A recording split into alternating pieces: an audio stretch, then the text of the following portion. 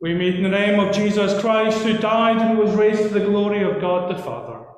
Grace and mercy be with you all. We've come here today to remember before God our sister Janet Susan Kemp, to give thanks for her life, to commend her to God, our merciful Redeemer and Judge, to commit her body to be cremated, and to comfort one another in our grief. Let us pray. God of all consolation, your Son, Jesus Christ, was moved to tears at the grave of Lazarus, his friend. Look with compassion on your children and their loss. Give to troubled hearts the light of hope, and strengthen in us the gift of faith. In Jesus Christ our Lord. Amen. A very warm welcome to you all, whether you're here in church with us or whether you're joining us somewhere online, including um, the family in Australia. I hope that you can all see and hear me okay um, in Australia at the moment. Um, we have four or five different um, signals connected to the broadband in this building at the moment. So my fingers and my toes are crossed that the connection will remain stable um, for the time that we are here. Just those of us in church, a quick reminder, we are not permitted at the moment to sing hymns I'm afraid, so any of the hymns will remain unsung. Uh, and please, um, can you make sure that you remain um, within your household or your bubble or socially distanced of two meters unmasked or one meter masked at all times as well. Please sit as we hear played the, the great um, 23rd Psalm tune, Crimond, The Lord my Shepherd. And any words you need are printed on the orders of service if you want to follow along.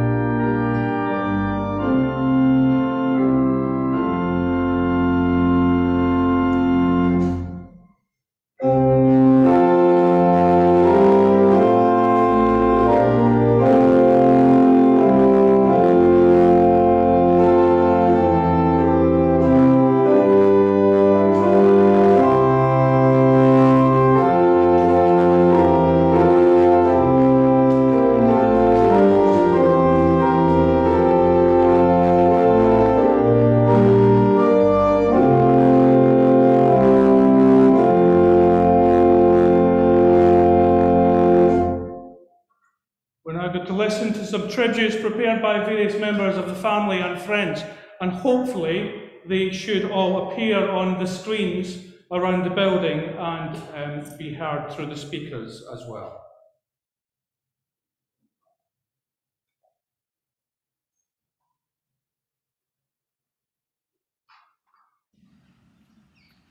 As much as we wish we could all be face to face today, Mum was good with modern technology and I think would be quietly chuffed that her funeral is being live streamed around the world.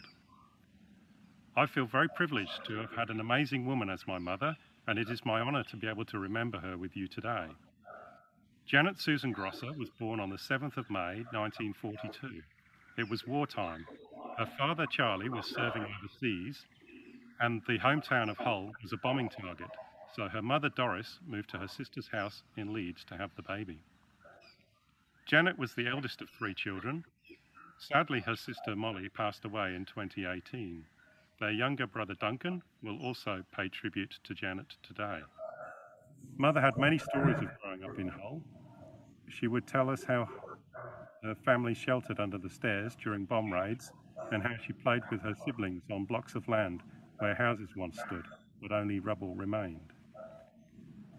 One story Grandma Janet has told my children many times is how the three siblings played families together. Janet and Molly, role playing as mummies, did everything and anything together, and when little Duncan asked to join in, he'd be reminded to do what daddies do. So Duncan was told to get on his bike and go to work, and not to come back for a few hours. None of them had any comprehension what daddies did all day. Growing up during wartime shaped the way Janet and her siblings lived post war. The Grosses each displayed a lot of grit and determination, were never shy of hard work, and followed their passions. Janet was very accomplished for a woman of her era. She excelled at school, which qualified her to study German and Swedish at Hull University. She was the first member of the Grosser family to attend university. Mother was allocated a rare placement to study for a semester in Tübingen, Germany, and spent a vacation working in Gothenburg in Sweden. After graduating from Hull University at the age of 21, Janet went off to Germany again for a year. My father John will share more about this wonderful period when they met, married, and commenced their family with the birth of my older sister Deborah. Deborah and I were blessed to have a mother who provided a steady, loving home. After pausing her career to have children, Janet returned to teaching part time when I started school in 1977. She was a very flexible and capable languages teacher and was always in demand. Juggling part time work and bringing up the family was Janet's life for many years, and she did that selflessly. Deborah reminded me that even when returning home after working a day in school, Mum was always cheerful and looked especially smart. She cooked from scratch for the family every evening and looked after us all. She was a good role model. Mother always said she had a fortunate life with John.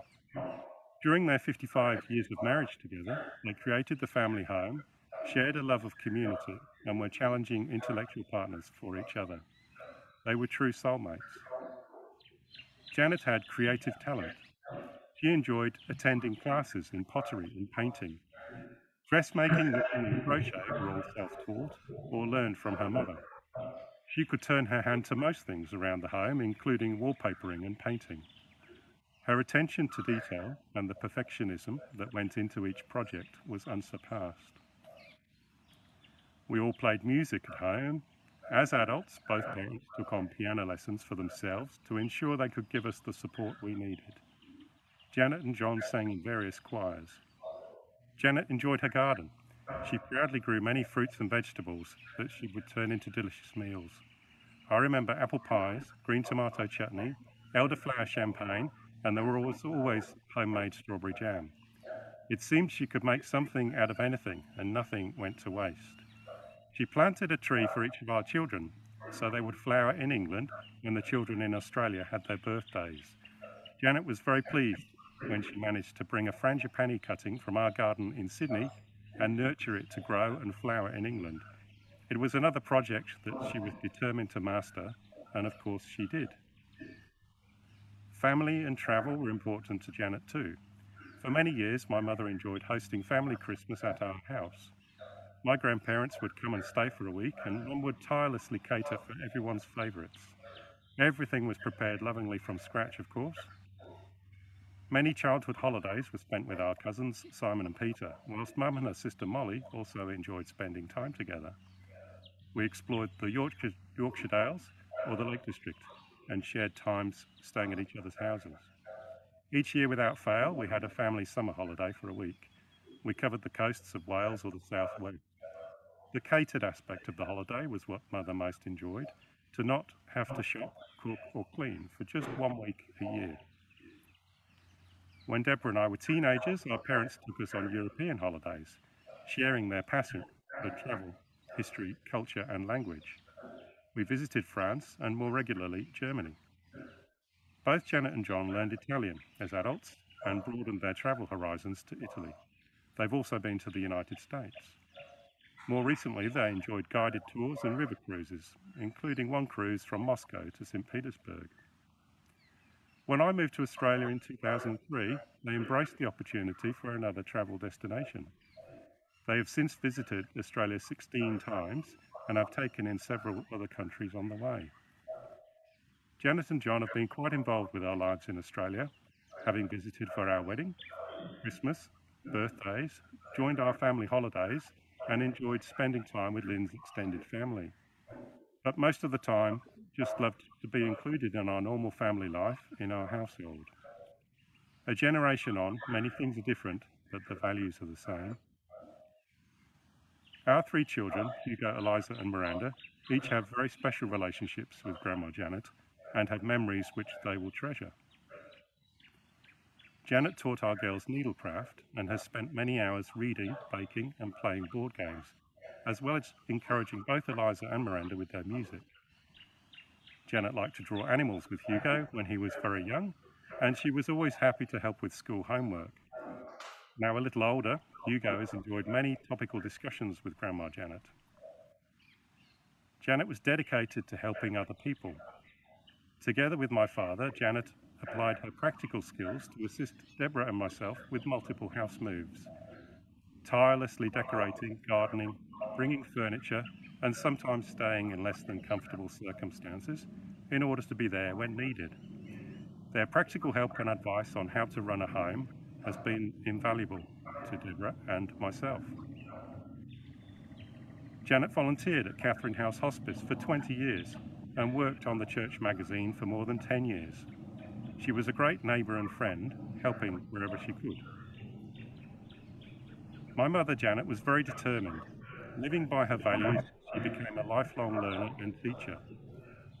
Whether she was preparing lessons, mastering a new language, planting the garden, helping children or grandchildren with homework or music, working at Katharine House Hospice or on the church magazine, or just playing with the grandchildren, she showed an attention to detail, a love of challenges, and a desire for mastery. She accomplished a lot professionally and in volunteering capacities. She was a wonderful wife to John during 55 years of marriage, a caring sister, aunt, and grandmother. She was the best mum in the world. With so many wonderful memories to cherish, Janet will remain in our hearts forever. So, what can I tell you about my sister? Well, I'm starting my few words here going back as far as I can recall. And as Ed has already mentioned in his lovely tribute, Janet was the oldest of us three siblings, sister Molly in the middle, and then myself. And being the oldest, Janet was usually the quiet, sensible one, usually. And having been born during the war and growing up in the 40s and 50s, she would have been very much aware, I think, of the demands that were placed on our parents. Running a house with three young children, dealing with the problems of increasing frailty in our grandparents. In fact, our maternal grandmother lived with us for the last few years of her life. Quite a workload, I think, for our mother. So Janet's early years would have been very much informed by these difficulties of family life in these post-war years. She attended Bricknell Avenue infants and junior schools, as did the three of us, in fact, before going on to Newland High School for girls, followed by Molly just a few years later. Also, for a time, she was a member of the Girl Guides, which I remember she really enjoyed. In fact, the family went to see her at Guides Camp one time when they all slept in these huge great bell tents. Maybe that's where she took a dislike to tents. She was never terribly keen on the idea of camping in later life. Music was always there in our family, and Janet had her first piano lessons at home with Miss Harrison, as did Molly. And I remember this lady coming to our house. And I also remember watching these lessons with great interest, but of course I was considered way too young. But in 1951, when Janet was about nine years old, she and I were both taken to see a Miss Farbstein, Rose Farbstein, who was a highly regarded piano teacher in Hull at that time. I know it was around 1951 because I was just four years of age.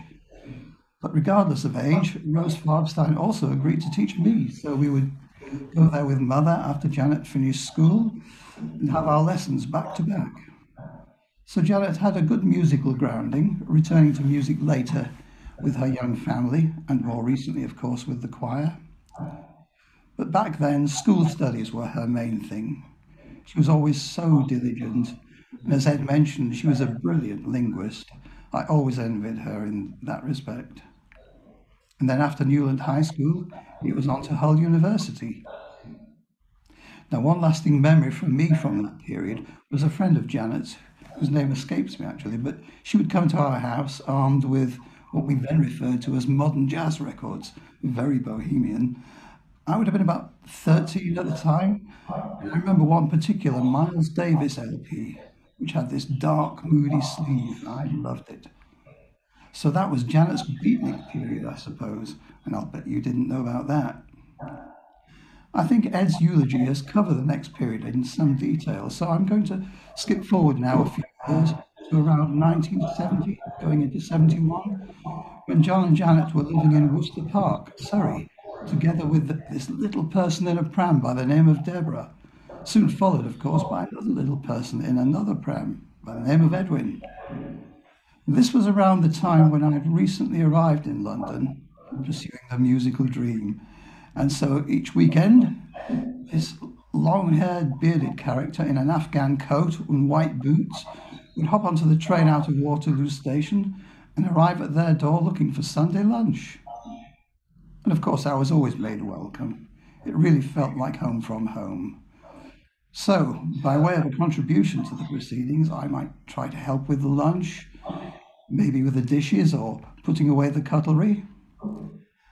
But it was only many years later John happened to mention that in fact I'd been putting the cutlery away in all the wrong places and it would take them all week to put things back where they should be. And then, of course, I'd arrive again the following week and we'd do it all over again. So I think for almost all of my first year in London, Worcester Park was my home from home. And this illustrates so well, I think, the close family ties which we've always guarded, all of us. And of course, we continue to do so. So, all the way through from childhood, all the way through our lives, in fact, Janet was there just being Janet, and for that I'm so very grateful. I know I'm following some very sincere words this afternoon, and these are, of course, sincere as well. You know, sometimes uh, in a couple, you've got a tidy spouse and an untidy one, and uh, guess which one I was? Well, Janet used to catch me hoarding stuff, and I used to get, you can, can you not move that from the shelf? It's been there too long. Can you not, uh, why did you put that in the corner of the lounge? Things like that. Just occasionally, the artifacts or things that I hold hold some interest. Here we have a reference to, it is the programme of, the course for British assistants in German-speaking countries in Germany and the Rhineland starting on the 26th of August in 1963. Now, I met Janet there, and our friendship and more came from uh, meeting her there. A group of about 30 people in which the British Council um, gave us uh, a lot of uh, hints as to how to model our teaching. They also told us about how German was actually, sorry, English was actually being taught in German schools. And um, also there were interesting things like um, uh, there, there, there, were singing evenings both uh, there and down at the pubs in, in, in, the town. But not only that, there were, um, we, it was pointed out to us that it was 400 years of Shakespeare, for example. There was social change in Britain. And this was the period of uh, Kennedy was assassinated. He'd just been a heroic visitor to Germany at that time. Um, there was um, ready for an election the following year. Douglas Home didn't uh, um, rule for too long as Premier, but Wilson was on the wings he willing to take over. And um, the Beatles, oh yes, they were holding hands in German by then. Their uh, translations were flowing. So here was the week then, with, uh, with quite a lot of free time, and Janet and I seemed to associate an awful lot during that time, sitting next to each other in lectures. And, uh, and um, oh, one evening we didn't get in, I have to say, the place was locked, and balmy evening spent till the early morning on the park benches on the banks of the Rhine. This was just near Bonn, the capital of the city. The um, thing was that Janet had um, asked to be in North Germany and her school was in an industrial belt in Bochum. I had asked to be in South Germany, close to German friends, just as that was Janet's reason in the north as well and uh, we were about 10 hours apart on trains, and it was plural trains. Was sort of in my rather isolated small town area, which was on the river Danube, the upper Danube, Sigmaringen. Uh, there was, oh, sort of rail bus, and then steam train still on, and when you got to Stuttgart, you were on the main intercity line, could speed up to Bochum, and just a tram next, and then you, then you met Janet. It was about 10 hours. We met up a number of times during the year, and clearly our relationship was becoming serious. And we enjoyed trips, of course, across the border to Vienna and Salzburg as well. And we were in the Black Forest and the um, Heidelberg area as well. We had ourselves arranged in May to have our parents over, so we made sure our parents met the two different uh, um, groups and um, enjoyed a few days together socialising and touristing uh, on the Rhine. The British Council also took us to uh, West Berlin flying in uh, with a trip across to East Berlin as well as sightseers. And uh, the, the, the group were saying to me, oh, you two, are still together? I don't think we used the word being an item in those days, but they were certainly noticing that we were, we were very fond of each other. Well, we got engaged. We got married the following year then in uh, 65. And uh, the first few years can be uh, reckoned uh, uh, uh thus. We started off deliberately a long way south of the north of England. we thought we'd like the fresh start with no interference, if you like, or excessive interest from our parents and family. And we were in Buckinghamshire and we had good fortune to get jobs in schools in adjacent towns, Marlow and High Wycombe. We were in uh, Wycombe in the first year. Um, it was rented. We, it was also rented the second year, but um, with our furniture. Third year we bought a car. Fourth year we started a mortgage, uh, which eventually we paid in the year 2000, the record shows. shows. And uh, also we had time to um, equip the kitchen better and to add some central heating to our little house, which is in the Surrey suburbs of London before our two children came along. You've heard the story of the family. I've been totally blessed uh, throughout life to have been the partner of Janet. I shall miss her dearly. Cards from about 70 people confirm how friendly, helpful, and what a pleasant cursed personality Janet was. I loved her to bits. I really miss you. Janet, rest in peace.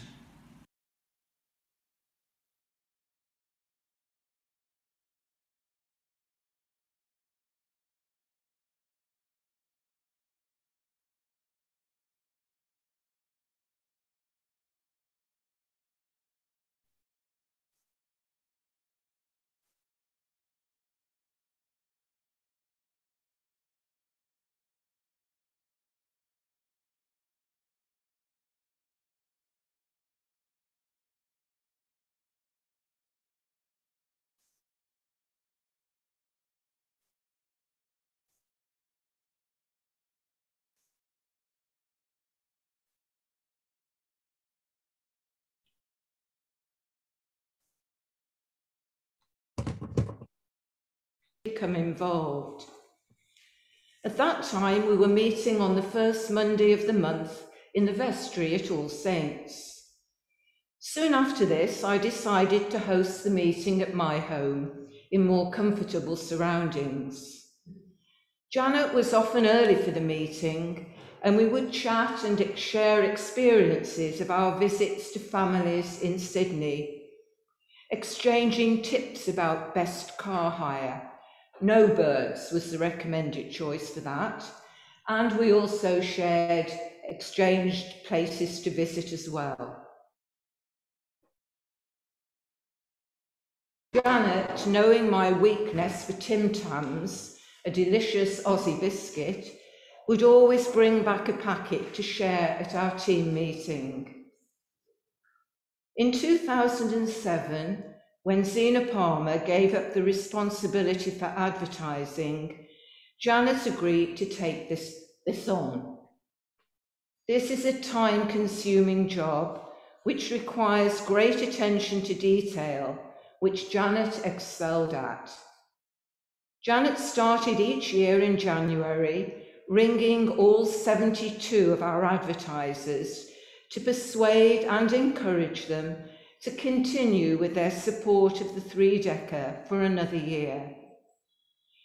She believed that this personal contact each year was essential before the invoices were sent out, all by post in those days, as many advertisers had no email addresses. There then followed many weeks where Janet was dealing with changes to the adverts, sending reminders for payment, and recording payments as they came in. Even when the new advertising year started in April, Janet was still chasing late payers. She never gave up. During Janet's tenure, we were able to raise over £8,000 in advertising revenue each year. This not only helped pay for the publication of the magazine, but also meant that we were able to pass on a considerable amount to parish funds. Janet worked tirelessly in this role for 10 years until it became increasingly more difficult to deal with the renewals and organise visits to the family in Australia at the same time of year autumn being a good time to visit Sydney, as it was cooling down after the heat of the summer. Having relinquished the advertising role, I was enormously grateful that Janet wanted to stay on the team. She was a great asset with her organisational ability, attention to detail, and her linguistic skills. Her proofreading of copy at meetings was legendary. On a personal note, I valued her judgments and her support and encouragement when difficult decisions needed to be made, particularly during the pandemic, when only a digital edition of the Decker has been possible. During this time, Janet's concern was for the many of our normal readership who have been unable to access the digital edition. She worried that they may well lose interest and forget about the magazine in future. We will do our best not to let this happen, Janet. We will miss you, but we give thanks to God for the time and skills you offered in support of this parish's mission and outreach work.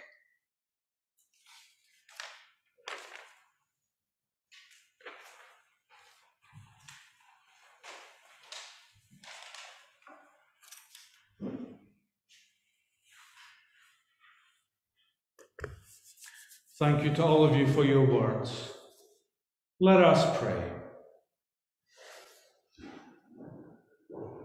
Merciful Father, hear our prayers and comfort us. Renew our trust in your Son, whom you raised from the dead. Strengthen our faith, that Janet and all who have died in the love of Christ will share in his resurrection, who lives and reigns with you, one God, now and forever. Amen. We've heard already, and we all know too well, the impact of music has had on Janet's, uh, Janet's life. And so, for now, we'll listen to a setting of The Lark Ascending played by Deborah on the violin, and there'll be some images hopefully coming up on the screen, some pictures and photographs and memories of Janet. So please have a look at those images, and as you watch them, reflect on Janet's life and give thanks to God for all that your memories of her.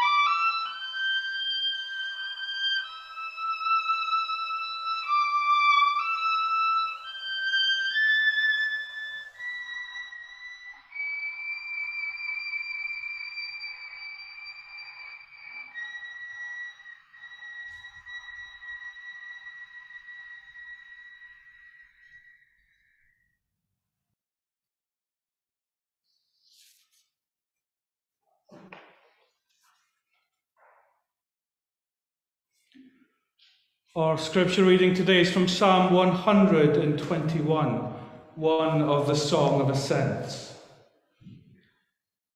I lift up my eyes to the hills, from where will my help come?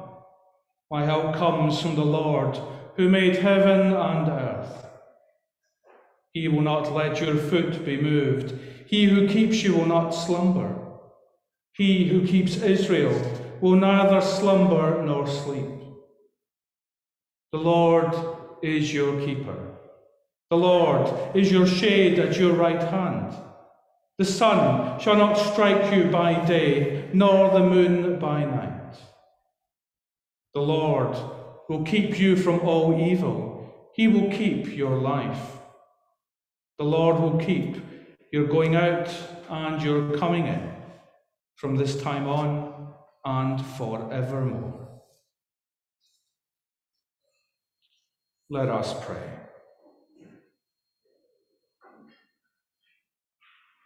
In the name of God, Father, Son, and Holy Spirit.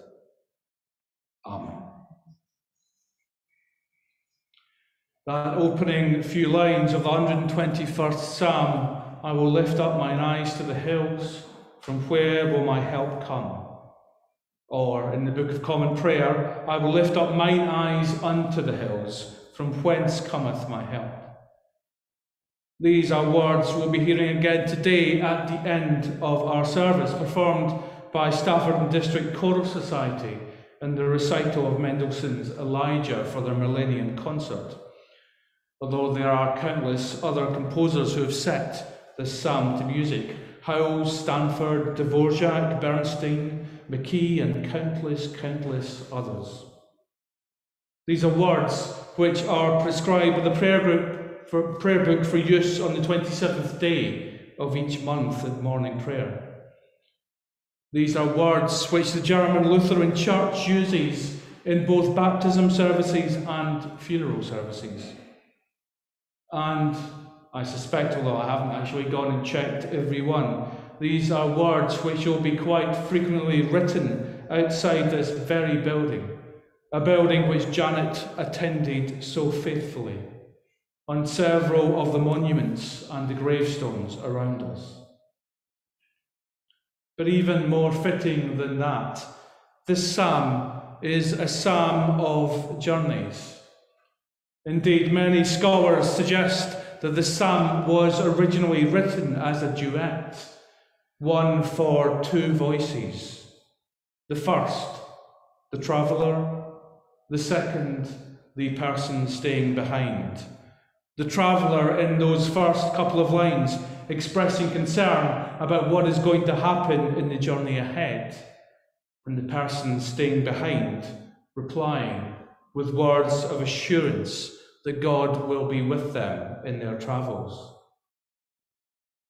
I do hope that Janet, someone for whom travelling was such an important part of her life, whether it was those 10 hour train rides in Germany to meet up with John, whether it was the 19 odd hours of flight to get to Australia, or whatever else it was in between, would appreciate having this psalm read out at her funeral. These words describe the faithfulness of God, a God who will be there for us if we allow Him the God described in this psalm, the God who will be with us even in the difficult, difficult stages of our journey, is a God whose power we can rely on, even when we are feeling at our most helpless and incapable. It's a God who will not sleep on the job, who will be there for us both day and night.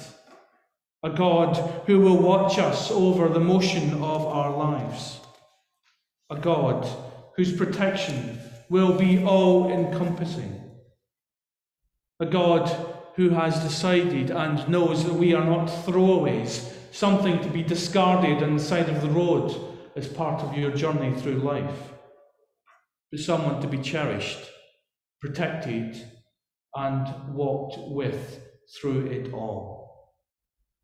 That is the God who watched over Janet in all her journeys, in her teaching life, in her family life, in her travels around, across the world and this country. That is the God who accompanied her on those journeys in all that she did. Whether she was on her own, whether she was with John, with the family, or with each and every one of you. And that's the God who will watch over us and accompanying us now as we continue on our journey through this life.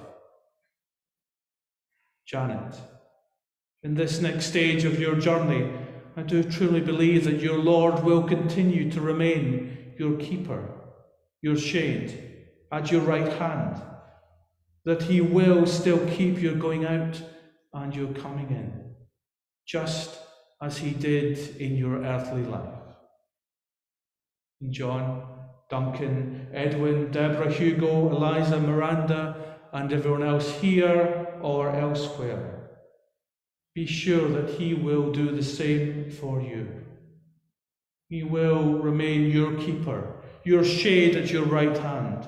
He will keep your going out and your coming in. He will be with you in all that you do as you embark on this new stage of your journeys of life without Janet. The hope you can get from that won't, I'm afraid, take away any of the pain and the hurt that you might be feeling today. And it's important that we acknowledge the pain of our loss and sorrow.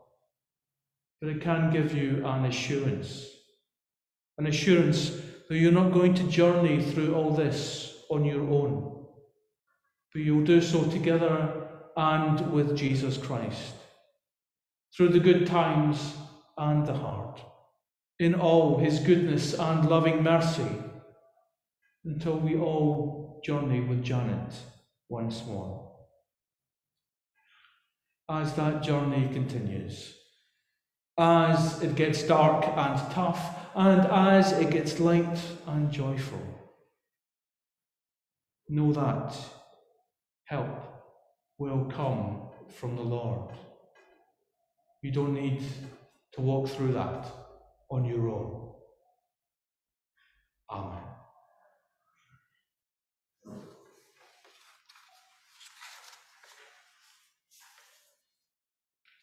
We now have some poetry and music recording from the grandchildren in Australia, which again hopefully should come up on the screens shortly.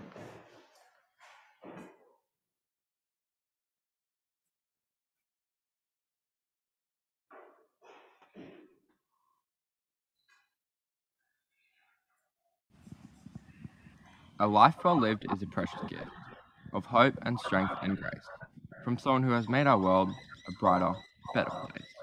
It's filled with moments, sweet and sad, with smiles and sometimes tears, with friendships formed and good times shared and laughter through the years. A life well lived is a legacy of joy and pride and pleasure, a living, lasting memory our grateful hearts will treasure.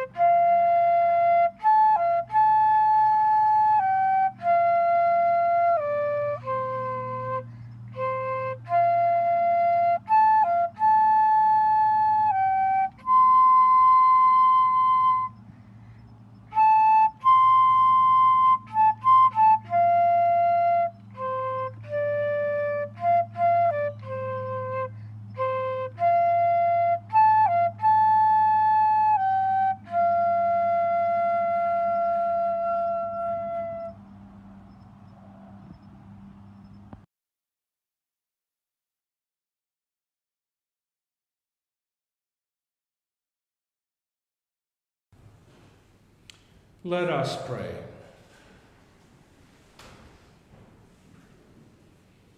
God of mercy, Lord of life, you have made us in your image to reflect your truth and light. We give you thanks for Janet, for the grace and mercy she received from you, for all that was good in her life, and for all the memories which we treasure today.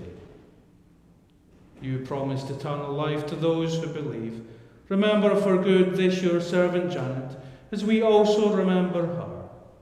Bring all who rest in Christ into the fullness of your kingdom, where sins have been forgiven and death is no more.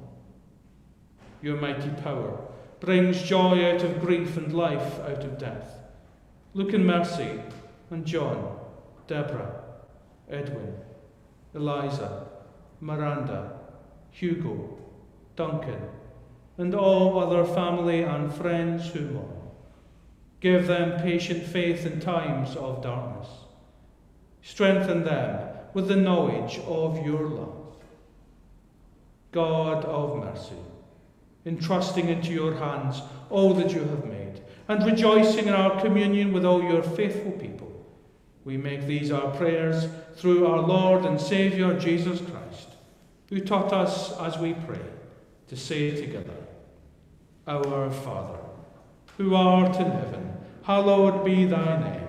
Thy kingdom come, thy will be done, on earth as it is in heaven. Give us this day our daily bread, and forgive us our trespasses, as we forgive those who trespass against us. And lead us not into temptation, but deliver us from evil. For thine is the kingdom, the power, and the glory, for ever and ever. We've heard much about life in Australia and life in Germany as well as this country today, so it seems fitting we couldn't possibly have this service without hearing a piece from Bach. And so now Roy is going to play the Adagio from Concerto number 2 in A minor.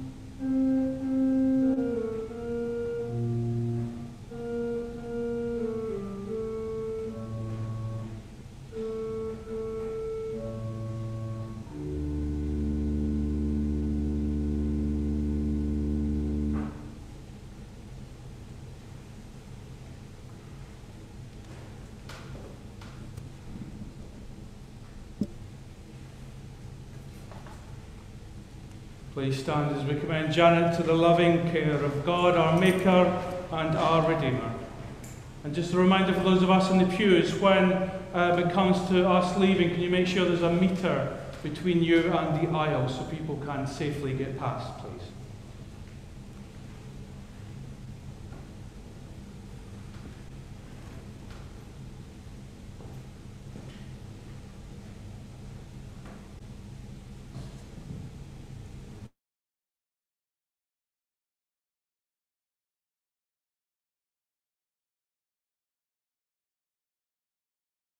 Entered into glory, confident of his victory and claiming his promises, we entrust Janet Susan Kemp to your mercy.